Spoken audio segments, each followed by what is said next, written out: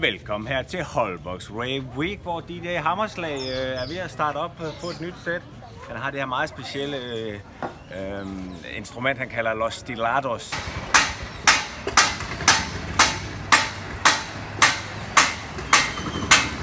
Virkelig, virkelig tung, tung, tung. Øh, har spillet på de største klubber nede i Berlin. Så vi tager af her fra en rigtig fin øh, formiddag fra Holbox Rave Week.